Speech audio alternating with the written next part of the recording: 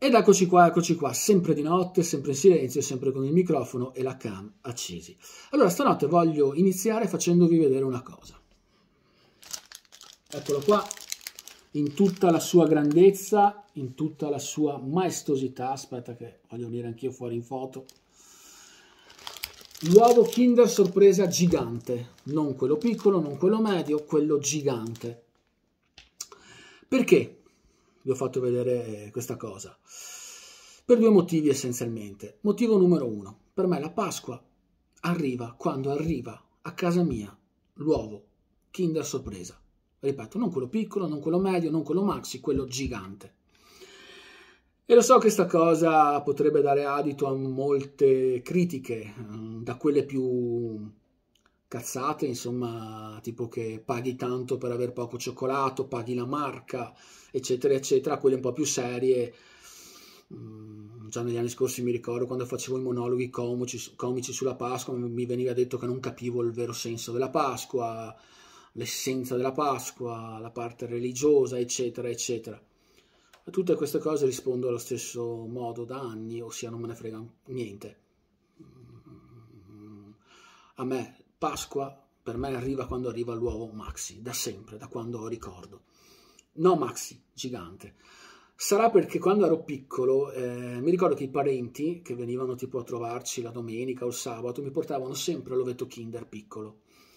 Ed era un attimo di gioia quella sorpresa, sapere, non sapere cosa potevo trovare dentro, ok? Al di là del cioccolato. E forse cerco sempre di ritrovare quell'attimo in cui ero contento, in cui aprivo eh, l'ovetto giallo e montavo la sorpresa ed ero contento.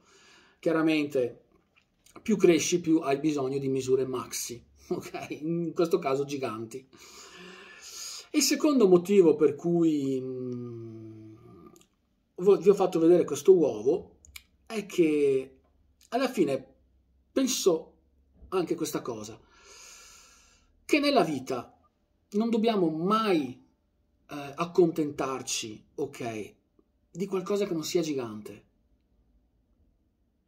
Di persone che magari ci danno un po' di tempo, ma non tutto il tempo, che ci danno un po' di loro, ma con parsimonia. Noi dobbiamo meritare, dobbiamo volere sempre il massimo, sempre qualcosa di gigante. E non accontentarci di qualcosa di piccolo, medio, anche Maxi, perché Maxi sembra tanto, ok? Però se si può dare di più, se c'è un livello in più, perché dobbiamo accontentarci se c'è un livello in più, se c'è un livello gigante, perché dobbiamo accontentarci del Maxi? Ok? Chiaramente, come pretendiamo, dobbiamo pretendere il massimo, dobbiamo anche dare il massimo. È scontata sta cosa, ok? Perché alla fine, quando dicono che le dimensioni non contano, in tante cose le dimensioni contano. È che a volte ci facciamo andare bene l'uovo piccolo, l'uovo medio, l'uovo grande, l'uovo maxi, dicendo vabbè, oh, almeno qualcosa ci ha dato. No, cazzo. Se c'è un uovo gigante, dobbiamo pretendere l'uovo gigante. Se c'è una persona che amiamo, a cui vogliamo bene, dobbiamo pretendere, se noi diamo lo stesso, tutto l'affetto gigante, il tempo che ci dà deve essere gigante, tutto gigante, tutto il massimo. Perché se cominci ad accontentarti e, vuole, avere qualcosa di meno, alla fine la percentuale scenderà sempre di più, fino a quando avrai un uovo piccolo e dirai, beh, bello dai, no. Nella vita dobbiamo pretendere sempre il massimo, sempre dobbiamo avere sempre qualcosa di gigante in cambio a quello che diamo e noi chiaramente dobbiamo sempre dare il massimo. Nell'amore, nell'amicizia, nei rapporti con le altre persone, nel lavoro, in tutto.